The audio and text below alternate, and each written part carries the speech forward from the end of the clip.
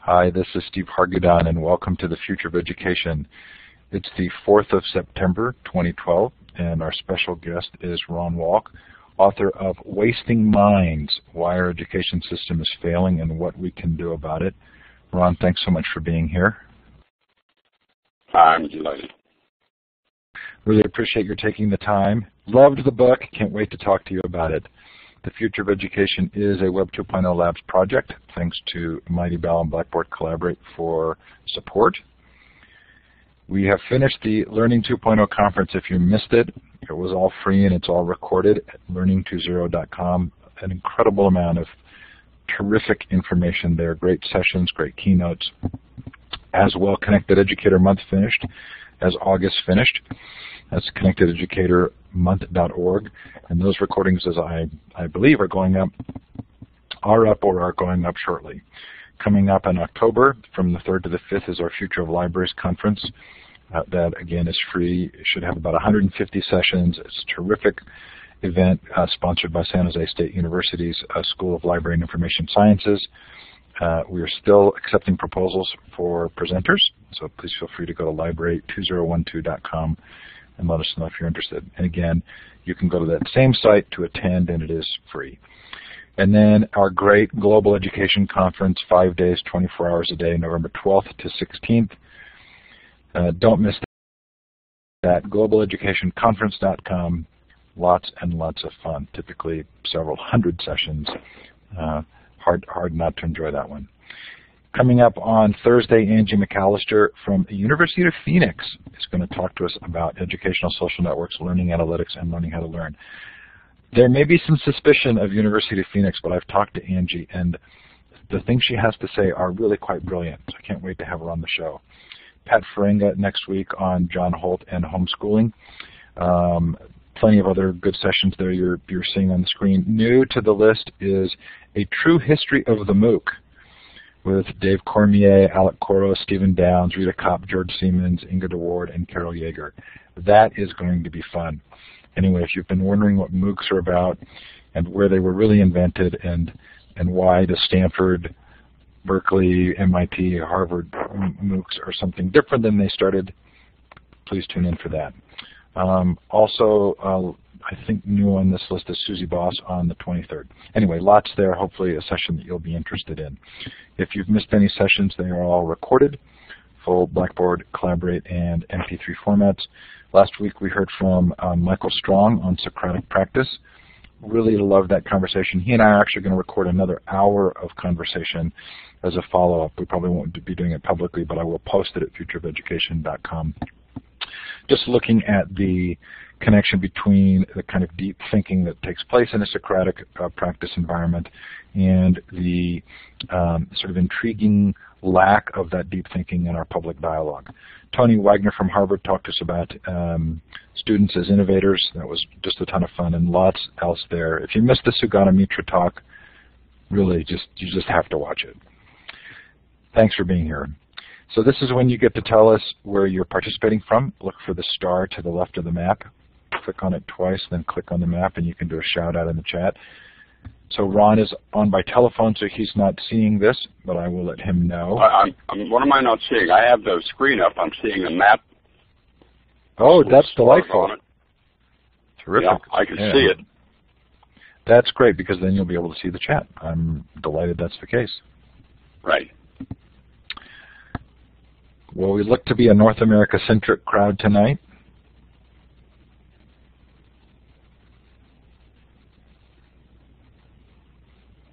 I'm not seeing any notes in the chat of where you're from, but the, the, I'm in Park City, Utah right now, and we're in sunny but windy weather. Here they come.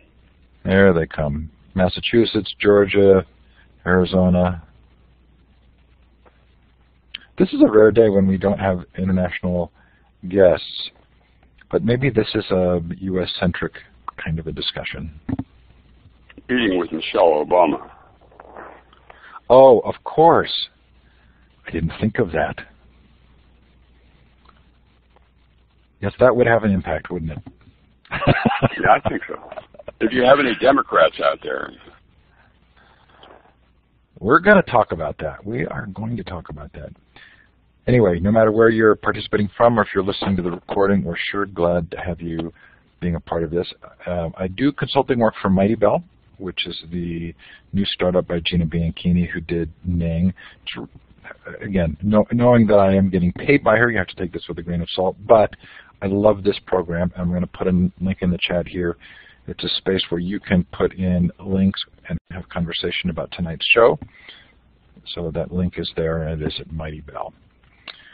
So Ron, I, I, I'm I'm not exaggerating to tell you that um, I read a lot of books every year, and Wasting Minds not only kept me captivated, but it required me to outline uh, in some detail uh, my own sense of the argument because I felt like it was so compelling. The book's been out about a year. Has it gotten the reception that you had hoped for? Uh, well, no, of course. I wanted to be on the New York Times bestseller list. Uh, but when they published it, they said uh, the title is too negative. You know, the audience of educators doesn't want to hear what a bad job they're doing. And I said, but that's an apt, apt description of what the book is about, so let's stay with it. And they said, well, okay, but you're not going to sell many. And they were right. But I, but I, I think it's probably sold a couple thousand. Well, in some small way, I hope we make a difference there, but my guess is that we can't produce numbers close enough to getting it on the New York Times bestseller list.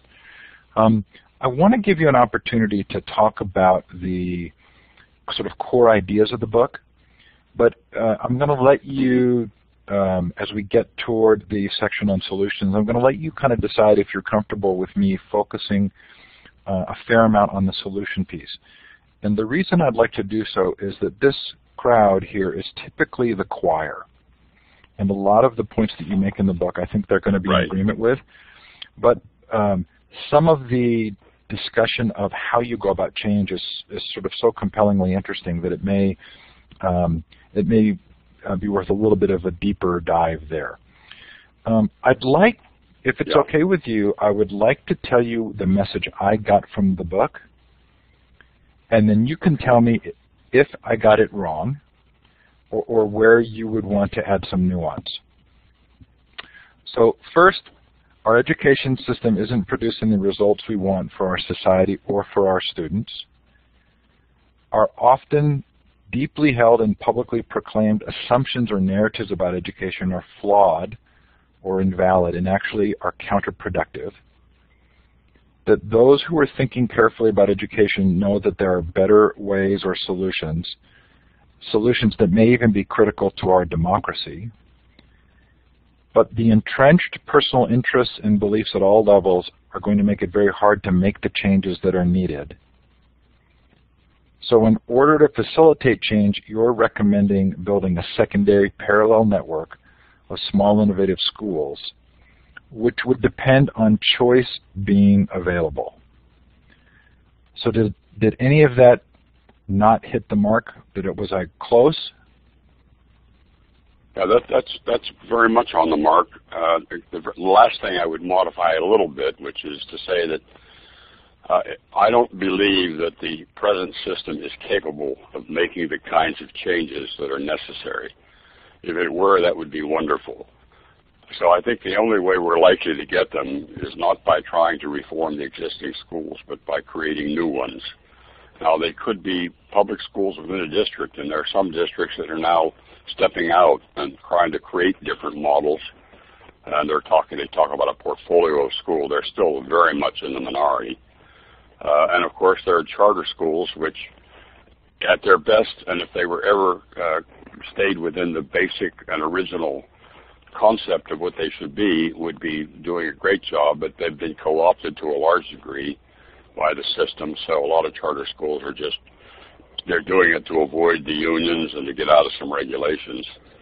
Uh, but I think the, the the seeds are planted. I think that the idea of creating new schools that are very very different than traditional schools is at least you know kind of underway.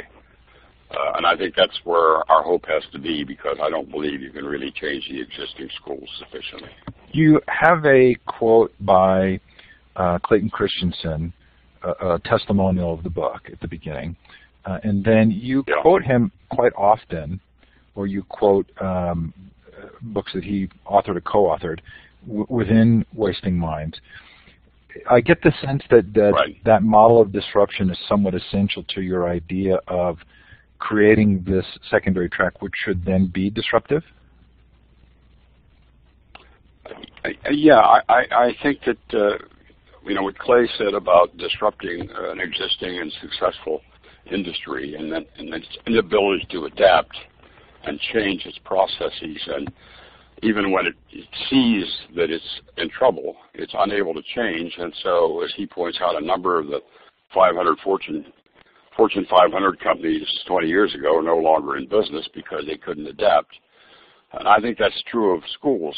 It's kind of interesting that Clay, I first heard of him speak uh, via remote connection a, at a meeting in uh, St. Paul, and he was in Cambridge. And he had a question and answer period by video, and uh, and was asked whether his ideas would really work in a governmental uh, system, because you know he's talking about pre-enterprise and corporations which have a lot more flexibility or more nimble, I think, than government. And he said, I think so, yeah. And, and it was that when he, that was the beginning of when he decided to start thinking about education, which led eventually to disrupting class. It took about two years. And some of the people at that Minnesota meeting became, like Curt Johnson became a co-author. A number of us submitted essays uh, and papers to Clay and had a couple of meetings to talk about, you know, the book. And so he finally produced Disrupting Class, which was designed in part to prove that what his theories about disruptive innovation are equally applicable to a public system like education. One of the ideas I find very compelling in the disruptive innovation model is the difficulty of the core enterprise um, adopting the disruptive innovation. In part because you don't know which of the many, many innovations that you're seeing is going to become the disruptive innovation. So it feels like there's an inherent dilemma for the core institution. That presumes that the core institution is actually looking to change. And I, and I get the sense from your book that you feel quite strongly that that's not actually the case. Yeah, and I don't. I'm not sure I would agree with your interpretation of, of that because I think what Clay said is that you have a company like uh, uh, Digital Equipment, DEC, which was one of the really big successful computer companies. And when the personal computer came along, it was almost a toy. And the people at DEC said, "Yeah, we could do that." But you know, the profit margin on these little toys, the market's probably small, and the profit margin is minuscule. And we're producing these huge systems that had 50% pro- profit, and they were large. They were going to universities and corporations. Let's not screw around with that. They saw the possibility of that eventually becoming a competition, and as it as it emerged, they were unable, even if they'd wanted to, they were unable. They were not agile enough to change their processes, uh, to change the way their people think, and uh, and so they went out of business. I mean, Clay gives the alternative example of Dayton Hudson, uh, which was facing going out of business because they couldn't compete with Walmart and stores like that. So they created Target. Uh, you know, they created a whole new organization. Now Target runs Dayton, Dayton Hudson. So there was a there was a group which at least realized it could not change Dayton Hudson, so it created a new school, if you will, uh, that could compete and do the job.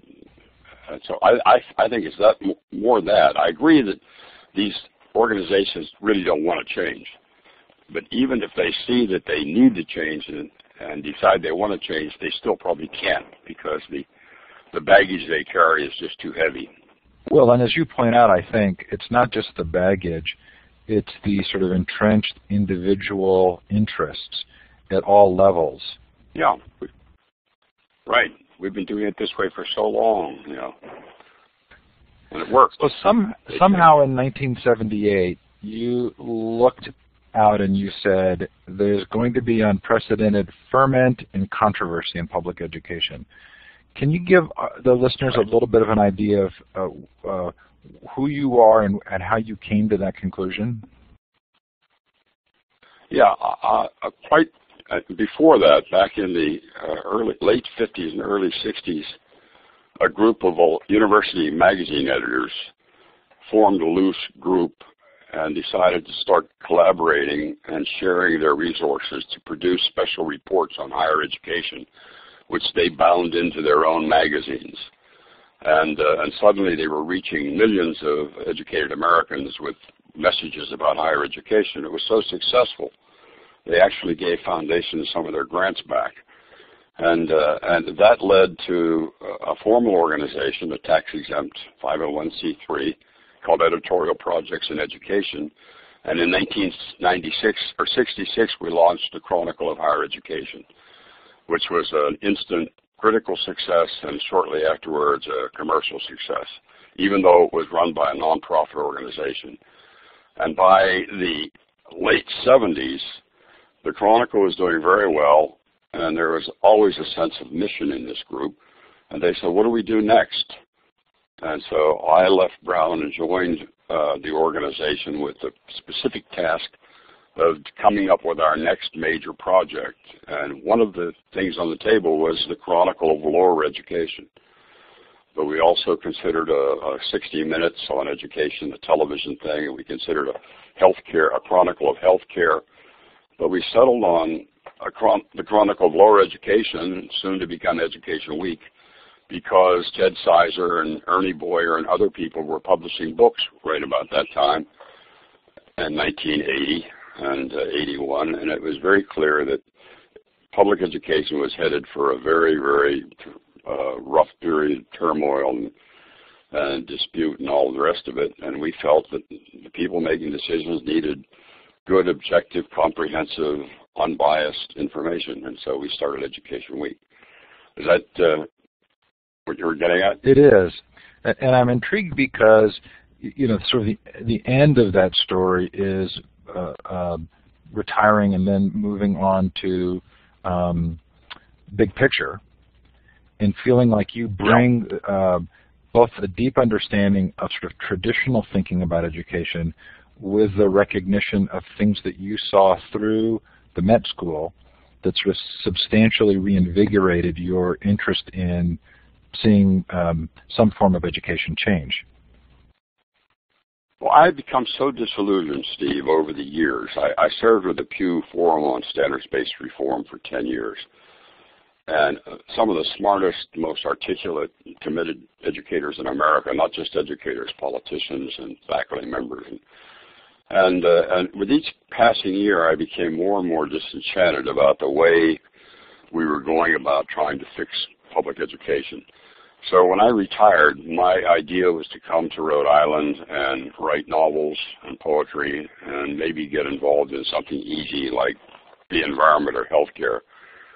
And I really did not want to continue in education. And then Ted Sizer and Dennis Littky asked me if I'd serve on the board of Big Picture. And I hesitated and then, oh hell, it's only going to be one meeting a year or so. And uh, so I joined, Ted left, and I got stuck being chairman. And uh, since then, I've been probably putting in a day of week at, in work for them.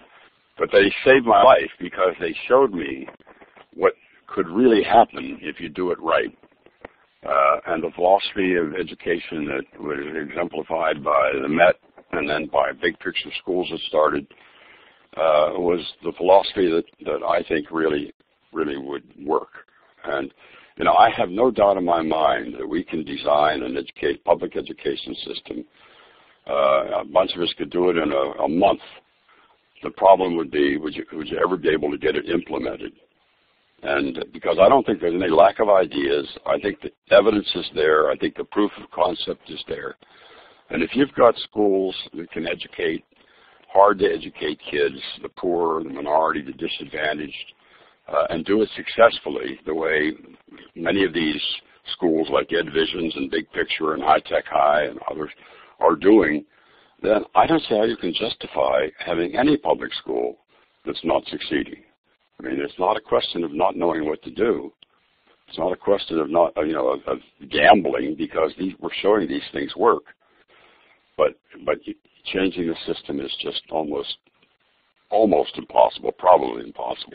So the so that's uh, the big picture. Joining big picture brought me back and gave me a whole new perspective on on education, which was much more positive and much more promising. And right now, I'm deeply committed to those ideas. That's the whole second half of the book. Right. So the book is divided into two parts. The first half are the sort of flawed assumptions, and the second half are the, the right. solutions. Um, the assumption is that we would base a really new system on. Correct. Perfect. So Dennis has been on the show. Um, Elliot's about to come on the show. Um, the discouraging piece for me has been watching what appeared to be a fair amount of support for big picture in the last few years uh, seem to dwindle in the face of the accountability narrative.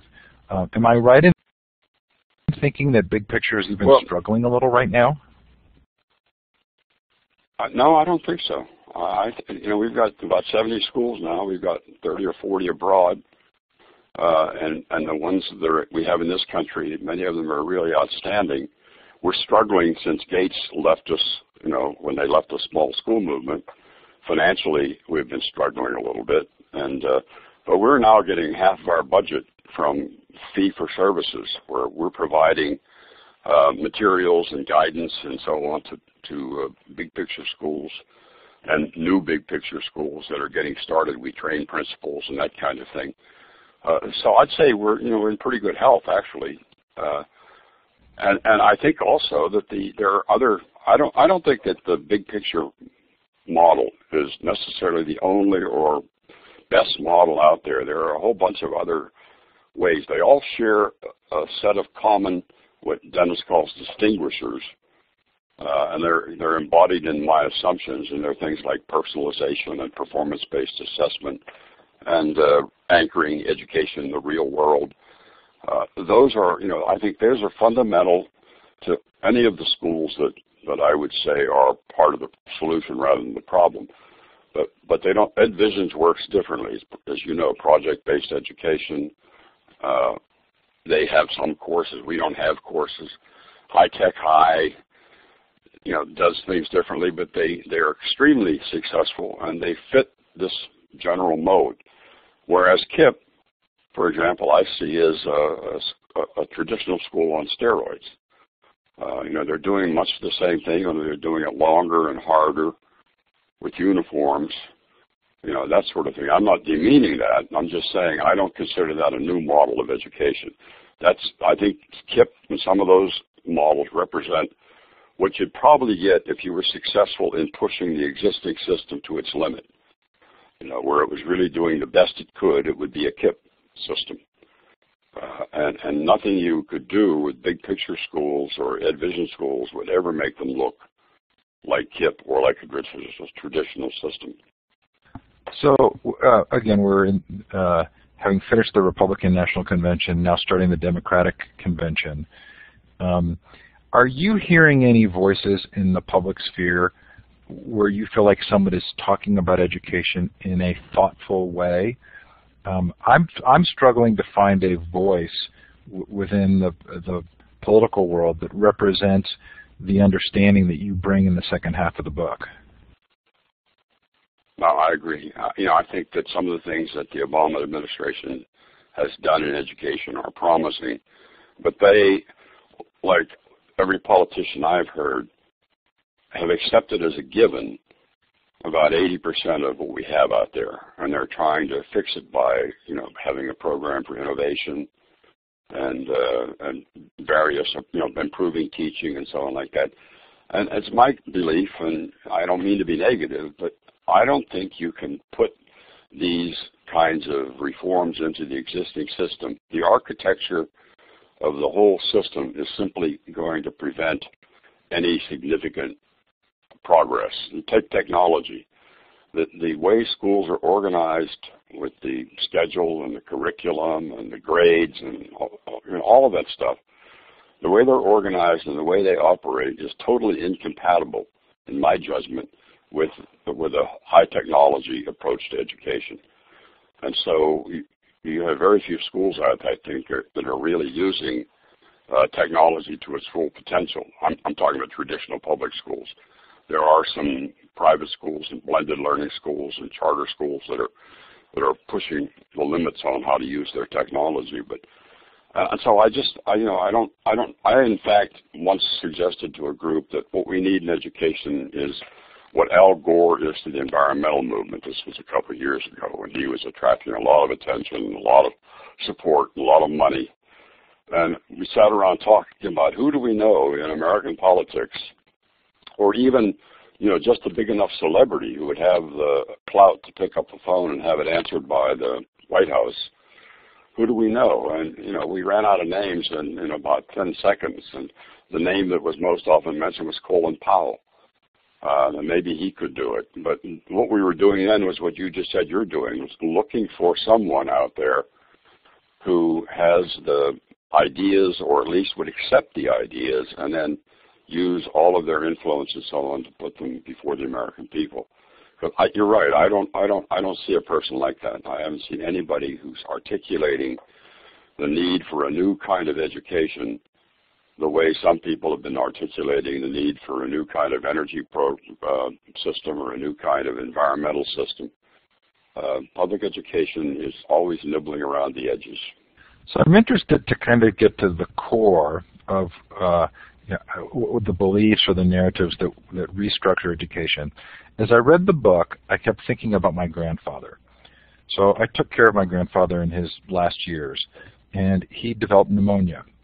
And I took him to the hospital, and in the hospital they gave him an antibiotic, which he was allergic to, and he developed a large ulcer on his leg or his arm. And the next day, the doctors came in uh, not realizing he'd originally come in for pneumonia. And the whole course of treatment and everything that was being done was related to the ulcer and not the core condition. Now, this may be a little bit of a stretch, but I, but I almost feel as though we've locked ourselves into a whole set of problem solving in education that's actually missing the mark as to what's really going on. How would you describe what the, what the real need is for students and learning? how would I describe what's really needed for students and what, what, what the what the core belief would be for you as to why students go to school and what they should be learning? Um, well, I, I would say that what this this comes to the whole question of personalization. See, I believe one of the things you can say about the medical system when it's working well is that every patient comes in as unique and individual and the doctor doesn't go out into the waiting room at 4 o'clock in the afternoon and say, everybody sitting here today, you get a shot of penicillin. Uh, every kid who comes to school comes with, with a, a set of, of unique or personal characteristics, culture, language, family, interests, talents, and so on and so forth. And, and it's put into a system which does the same thing to the, all the kids at the same time in the same way. So I would say First thing is the system has to have the student at the center. That should be the primary concern of any system which is going to work. It has to start with what do we do for this student? How do we get this student to develop uh, the kind of uh, reasoning and problem solving and mentality? How do we get this student to develop the social uh, characteristics they need to exist in a society? All the things, you know, social development and education how do we do it for the student? And of course, that's the way the Met operates. Each student has his own curriculum, uh, which they work out with their parent, their advisor, uh, and and and uh, and then they build it around a, an internship in the community. And so they learn, you know, they're learning out there in the world, and they're learning something they're they decided they ought to learn, and and they're engaged in it. And to me, you can't I, I think that's just an essential of, of a new system for for kids. You know, that's what they need. They need to be treated as individuals. Somebody once said teaching is an act of love. I don't think you can really teach kids if you don't know them, and I don't mean know their names. I mean know them, know what they, what are what are their aspirations, what are their strengths and their weaknesses, where do, who do they think they are, who do they think they should be and want to be. Uh, and teachers don't have time for that. They don't know. The kids show up the schoolhouse door. nobody really knows who they are. And, and I'm not talking now about the private prep schools, you know, where the parents send their kids in, in fancy cars and all that. I'm talking about the rank and file. That you know, the system doesn't work for about 65% of the kids who enter it, and that's a statistical fact. Uh, it, it works reasonably well for the 15 to 25% who know what they want to do, who are going to go on to graduate school or their father's stock brokerage or, or a law firm or whatever. Uh, and they do all right. You know, they, they may, maybe they do better in a different system, but they do well enough in this system. But when, but it's the other 65% who uh, just don't, you know, they don't get it. They don't get anything out of it. They get very little out of it. And, and so I think if you're going to start building a system for students, you start with them. They're the ones who are who are getting a short short straw now, and uh, and the only way you're going to work with those kids is to take them one by one and figure out what to do. That may sound simplistic or idealistic, but as far as I'm concerned, that's where it's that's where it has to begin. If you do that, if you say we're going to personalize education, then you automatically have, I mean, it just becomes, it follows naturally. You're going to have to change a lot of other stuff. Standardized tests won't work if it's, if education is individualized. Uh, you're going to have to go to something, you know, performance-based assess, assessments.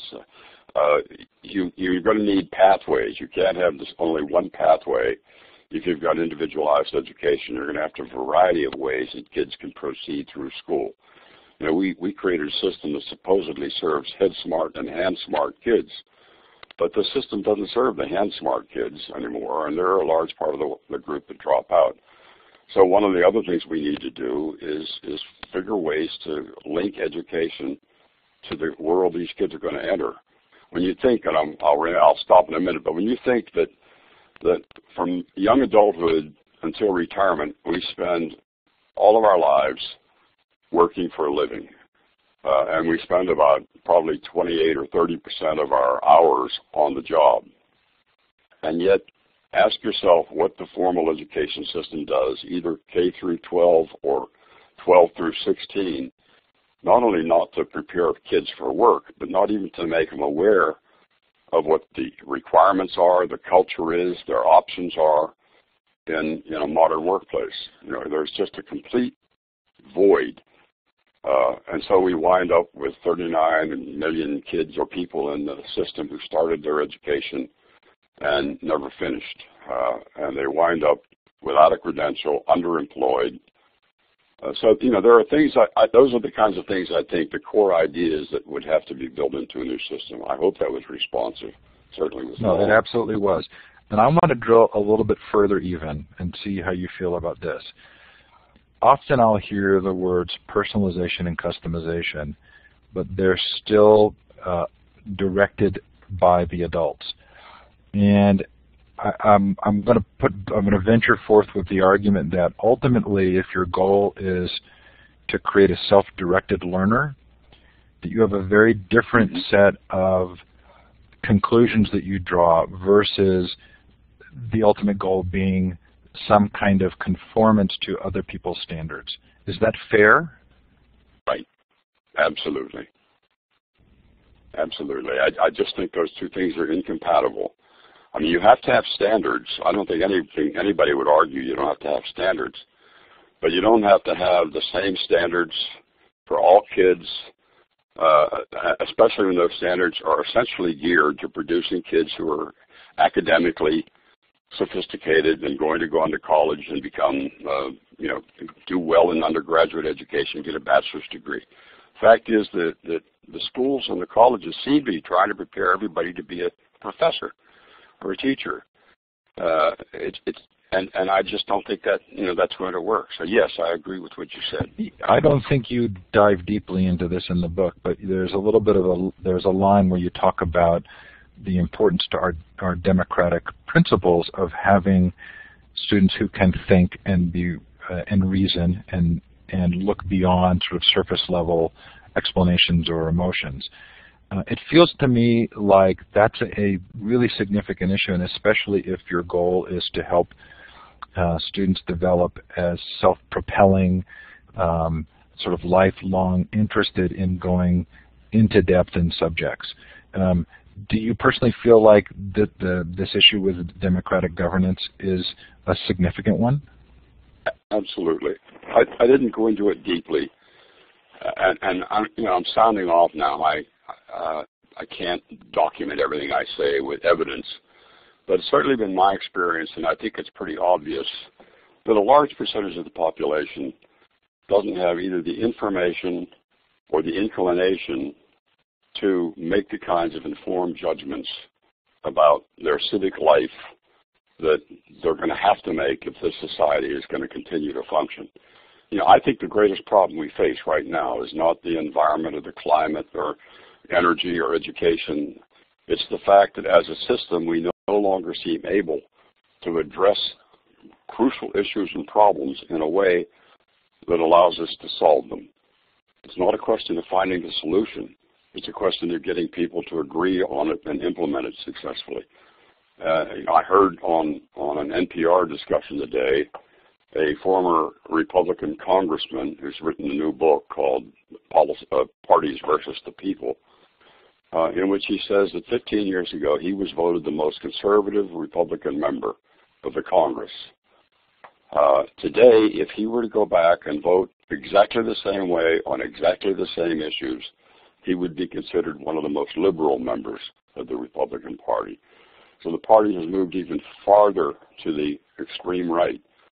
Uh, and so you have this, as everybody knows, I'm just saying what is so obvious to everybody, we can't seem to solve any problems.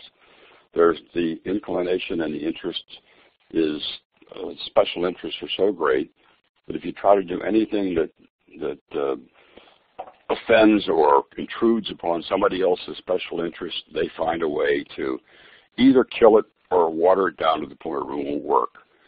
And so if the, if the democracy, if the republic is going to succeed, we have to figure out a way that we can address problems like global warming or health care or welfare or the budget or the economy or all those things intelligently and, and then have people know enough to be able to make some hard decisions. You know, it's really fascinating that in this political season now to have people saying something out of one side of their mouth like, we want government out of our lives, and then turning around and saying, we need help with the drought in the Midwest, or you've got to come and help us with the hurricane in New Orleans, or we need subsidies for the, you know, for this or for that. It's as though they don't you know, they don't understand. They just don't know enough about about the society and the political system and the way they work. And I think that's an obligation that education has. That when kids leave, they should know how to think and reason. They should be able to evaluate information they get. They should know when they're being scammed. Uh, you know, those kinds of, of skills are far more important to me than than uh, a lot of knowledge about uh, whatever, you know, the, the ancient history, all of those things I believe are wonderful and I, I was immersed in them, but only after I realized what education was all about. And, and basically it's about opening your mind and developing the kinds of skills you need to evaluate information and make intelligent decisions and, as you say, be a self-directed learner for the rest of your life. So I, I feel very strongly that we have fallen down on our civics uh, obligation, and it's not going to be solved by adding a course in civics. You know, it's just not.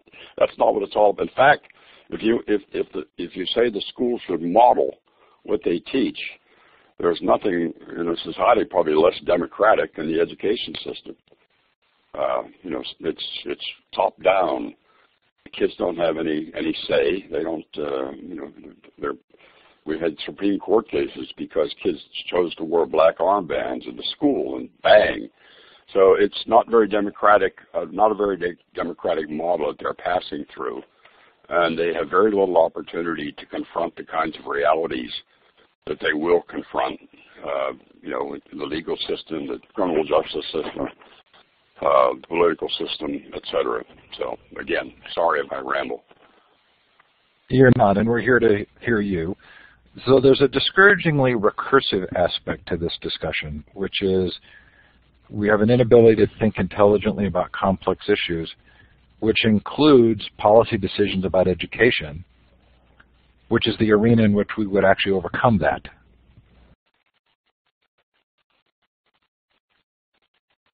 I'm sorry, did you say that last okay. thing again? Maybe I've dived off uh, too deeply here.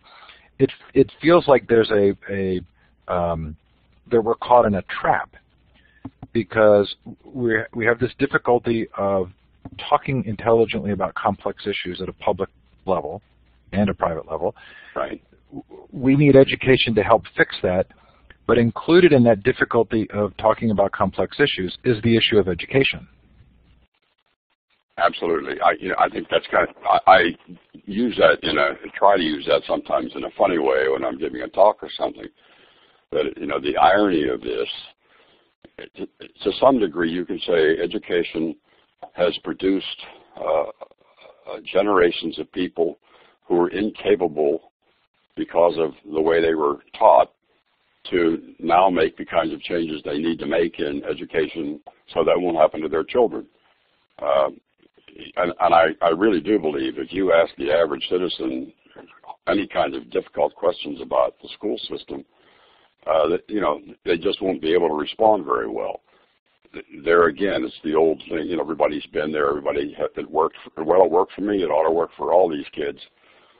And even if they even if they do are concerned with some specific issues, uh, their level of, of commitment, interest, even outrage is so small. Uh, it, it always strikes me that people get more upset about the fact that their streets aren't cleared after a snowstorm than they do about 1,200,000 kids who drop out every year. Uh, there is really an imbalance. It's, I, you know, I can't understand why parents aren't out in the street with pitchforks sometimes. There, there is, I, I'll just tell you one quick anecdote. Uh, the uh, uh, No Child Left Behind, as you know, said that if schools didn't achieve minimum progress, annual minimum progress, they would be uh, go through a series of stages. One of which would be the parents would be allowed to take their kids out of the school and put them in a better school.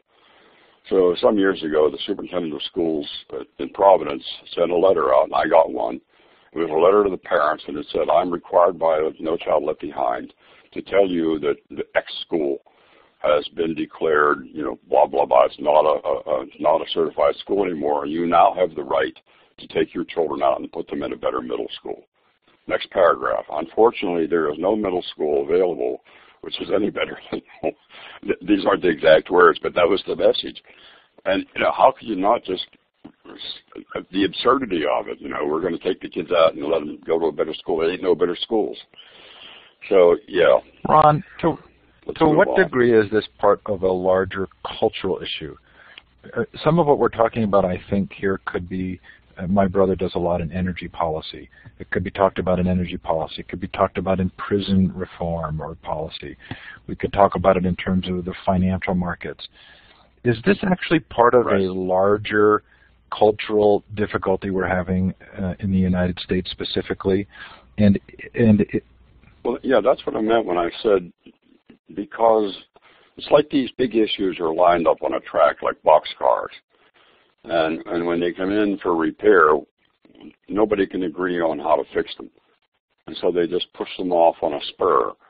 Uh, all of the big issues and problems we have uh, don't get solved because we don't, the mechanisms that once existed in our political system to bring the elected representatives together to act on behalf of the public and the people who put them there by solving their problems no longer is working.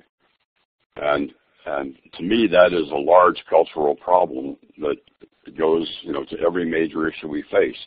And even when you take something like healthcare, which everybody would agree was because of its rising costs was becoming one of the most serious economic problems the society had, uh, Hillary Clinton tried, as you recall, to get it fixed, and it got shot down. Uh, and Obama finally gets it, and he has enough cachet that he's able to push it through. But he has to make some compromises, and there are some problems in it, but it gets passed.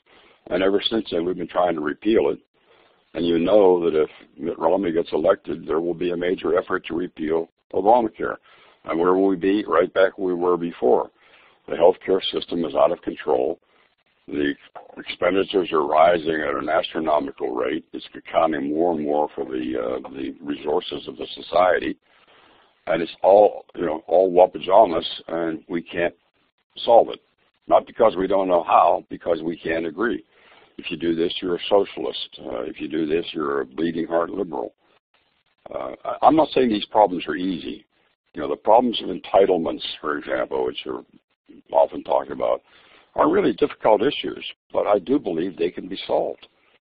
Uh, but they're not going to be solved until people are really willing to put the, like I said, put the student in the center, put the public in the center and say, we're not doing this to satisfy the lobbies, we're not doing this to satisfy our party, we're not doing this to get reelected or get a grant, we're doing it because we owe it to our voters and the public to solve this damn problem. It doesn't happen much anymore. It's changed radically, dramatically in my lifetime. Ron, you. Yeah, I think it is part of the larger culture. You don't use this language, but I kept thinking as I read the book that to a large degree, some of the um, uh, ways in which people are kind of entrenched in protecting their routine or status could be described as entanglements. And does it, it, it feels as though it requires some large percentage of the um, of the people to be willing to give up something they believe is an entitlement of theirs in order to focus on a larger issue. Some nations have been able to do this. You know, Finland. Yes, absolutely. Finland clearly did this with the narrative of equity. We don't do equity in the United States. It's not a narrative. We do opportunity. But are there narratives around entrepreneurship or individuality or um, choice that you feel resonate enough with us as a people to become kind of a guiding path? Wow. Uh, I said the last two words, become a, a guiding... The, sort of the path that we could get on. That I mean, choice is a, is a word you use a lot in the book. And choice is sort of... Yeah, I, th I think I think they're there, but that's, again, part of the problem we were just discussing. I mean, you can look at a, another country, a Scandinavian country, or look at Canada's uh, healthcare system, and you can say, well, there's a model and it works. It doesn't work perfectly. There are some problems with it. But you can say, let's take the best of it and and do something with it. And of course, it's a path. You know, it's a model worth looking at. Maybe uh, I haven't studied the Finland education system, but now it's a big thing out there. Everybody's saying, look at the way the Finns are doing it. Uh, we always have models and paths that, that look as though they will take us to where we want to go, but it's almost as hard to get people on the path as it is to get them to address the issue. Plus the fact, and I'm sure everybody who's involved in this business has had this experience, you have something that really works. I remember when Tony Alvarado was in District 2 in New York City, and the Met is an example of this. And there are other schools around the country where, man, they really made headlines because they were doing something that worked beautifully. And so for a period of time, they had busloads of people coming from all over the country to see how it worked. Superintendents, schools, principals, teachers, politicians. And they come and they go through and they get the tour and they say, yeah, wow, it really does work. And then they go back home and nothing happens. Uh, I know that is, that's really the pattern. That's not the exception. That's the way it mostly is. You know, I remember Howard Gardner's work. Some of the schools that first started doing it, there was a school in Indianapolis called the Key School. They had so many visitors, they had to finally start saying, no, we can't, or you're cutting into our teaching time. People traveled, drove, teachers put in their money to drive clear across the country to visit that school. Uh, but if there were three replications of the key school in the country, I missed them. Uh, everybody looks and says, wow, that's great. And then they go back and say, we can't do that here for some reason or other. Ron, I leave in about a week to do, uh, uh I'm going to call it a multi-city tour, but that's giving it more substance than it actually is. It's um, sort of a form of a family vacation, but I'm going to cities on the east and west coast and holding informal meetings to talk about education, to kind of do what we're doing here, but but in local arenas. What if you were giving me advice on on how to go about that?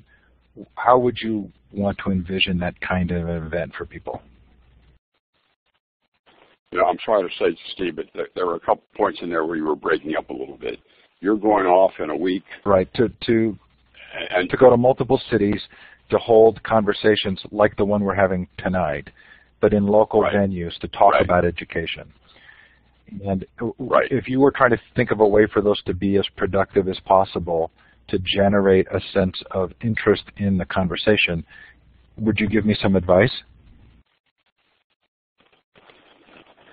Oh man, that's really a tough question because you know and I've done that, not you know not in in the way you're doing it, but I've gone to been invited to go to communities to talk about education like this, wasting minds, and uh, and there are always a few people who really get turned on. You know, they're the ones who rush up afterwards and want to do something. But the great majority of people, you know, you look out at them and and they're you know they're listening, but this is uh, it's very hard to get them to engage. It's very hard to get them to you know to, to see the conversation and say this is something I can really get something from and I can use.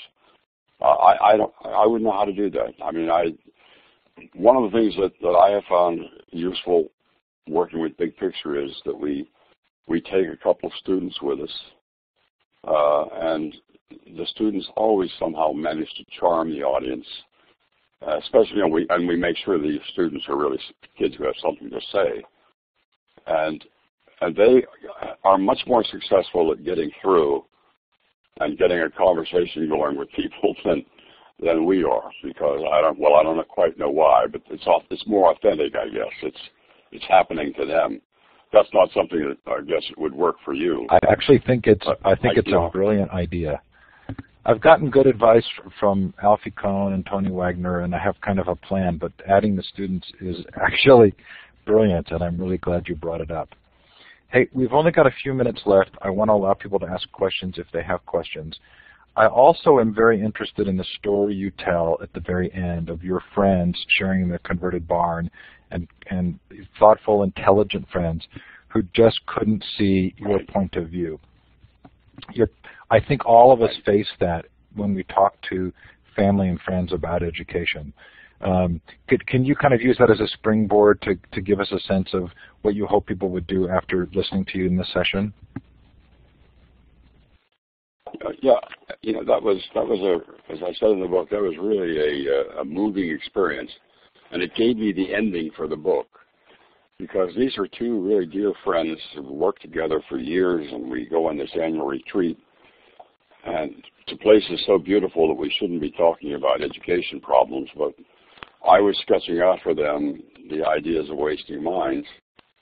And I expected, because it was always that way, you know, that they would nod and, and add positive remarks, but they just backed up and said, no, you, you, every kid has to take algebra, you know, otherwise you're discriminating against them.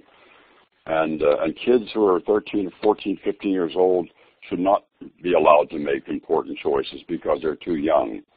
Uh, and it went on like this, and, and, I was shocked and astonished. Uh, and they, you know, they thought I was gone off the reservation. And, and so I realized if, if I can't, if people who have worked with me for years on Education Week and Teacher Magazine, and who are more than just colleagues professionally, they're close personal friends, and if in the relaxed setting of uh, Big Sur, we couldn't agree even on something as you know as fundamental as what we were talking about, then what chance do I possibly have of changing the minds of school board members and superintendents and and people who have unions, people who have a real vested interest in keeping the system, not necessarily keeping the system the way it is, but keeping their place in the system the way it is. Uh, and that was that was uh, you know that was a very useful experience for me. And I, and when I talk about the book, as I've been invited to a number of places to meet with a, a group of people and to talk about the book, somewhere halfway or three quarters of the way through the discussion, they say, "Well, how do we do the? How do we get these things to happen?" And that's where everything all kind of turns down because I can't answer that question. I can't, you know, I just don't know how to make it happen. uh, somehow we, you know, what we're trying to do is change the way Americans think about education and schools. That's a very simple statement, but how do you change the minds of Americans? How do you change the way people look at schools and education, how they think about them? And that's very tough. And that was the lesson of that last chapter. That was a lesson that was retaught to me. And until we figure out a way to solve that problem, all the other stuff in the book is just so much, you know, rhetoric. Um, and and that's I, guess that's where I've come out. And I, I, I you asked when you started I, the book, do what I wanted to do and so on. And the answer is that not really. It probably, as you said, spoke to the choir. Maybe changed a few minds, but it didn't. It didn't prompt anybody to say, "Let's get a committee together and change the way we do business." Ron, I wonder if uh, yeah. you used the example of Colin Powell or someone famous who could dial the phone and the White House would Yeah. pick up. I almost wonder if we're not actually looking for a Gandhi moment, which is rather than A Gandhi, Gandhi? correct. Meaning, rather than somebody who energizes those who are already benefiting from the system, that you find a way to energize those who are not. Yeah, that that that would be a great accomplishment. That's worth a Nobel Prize. okay, Ben wants to I mean, to some degree, go ahead. You know, Martin Luther King, in a way, did that because while he was while he was energizing uh, the African American people in this country, he was also starting to change the way white people thought about this issue. Uh, and he, and you know, you talk about Gandhi, he was in that same mode as Gandhi. You do have a question from Ben. He wants to know what countries or even global city school is close to or near to your ideal school system?